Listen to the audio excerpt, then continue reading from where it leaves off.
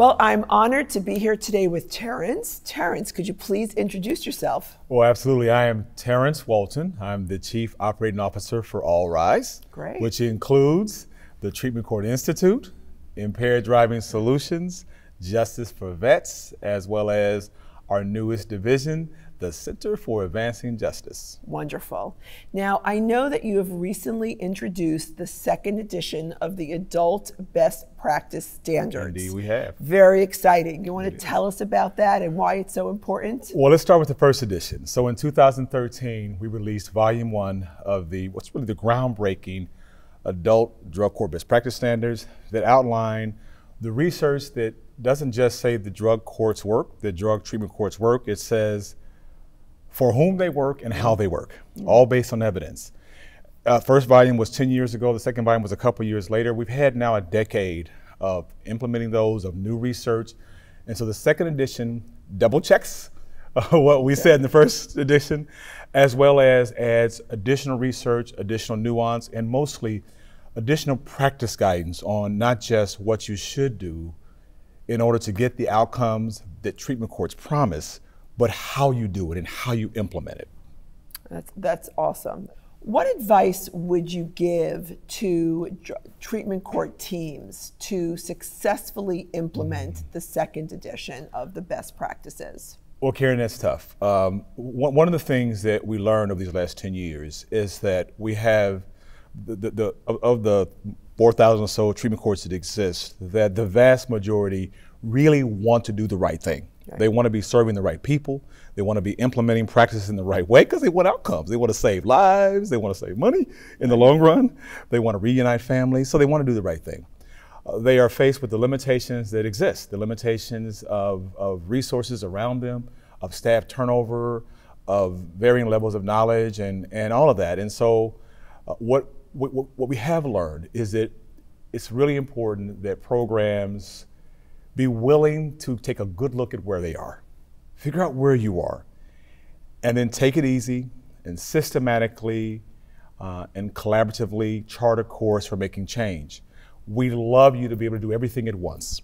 Um, but we recommend that you, you use your best minds, and we can help with that as well. Right. Um, to plot out a course for making change and improvements to the uh, at the pace you're able to do so. So we want it's kind of a combination of, of with some urgency, get a look at where you are in terms of how your practices your, how your practices compare to best practices, and then set an intentional, deliberate course that's realistic um, to making change.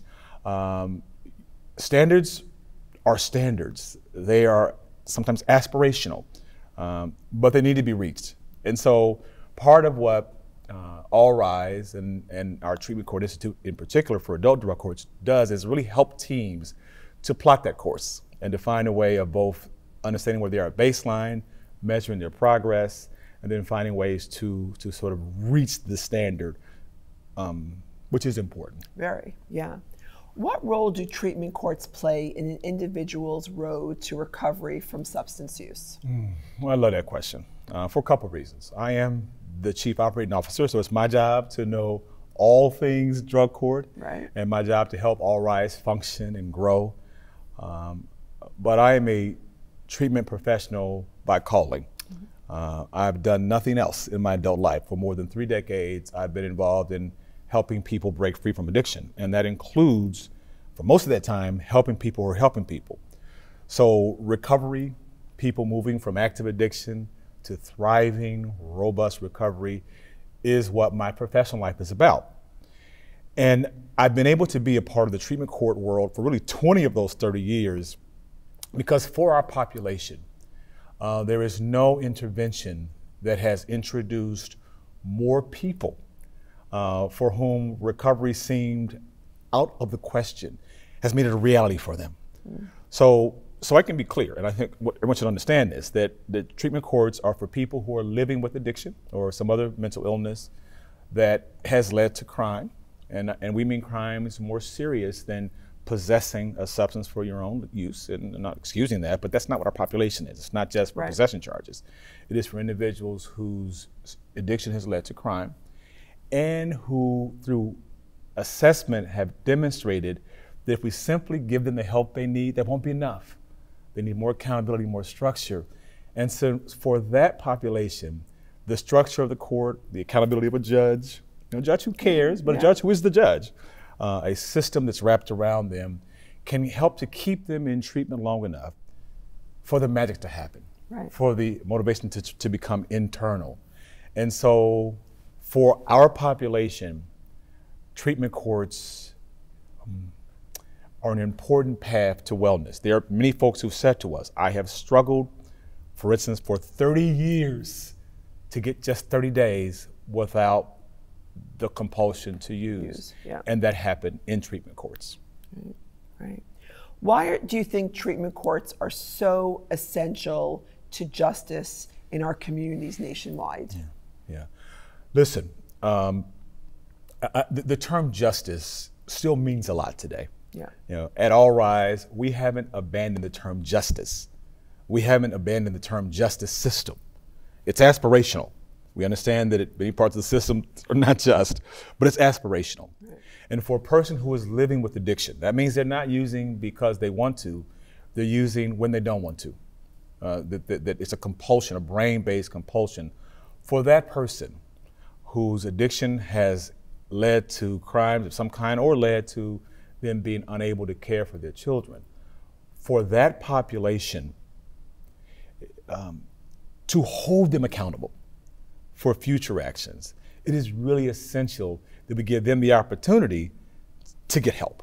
Mm-hmm. Now, there are folks who don't take that opportunity, but they be given the opportunity to get help and not just help in, you know, on paper, but help that is real, that right. is evidence based, that includes, of course, primary treatment, the treatment they need, the medications they may need, but also long term recovery management, where they have uh, hopefully peer support right. and others who will walk with them along the very difficult journey.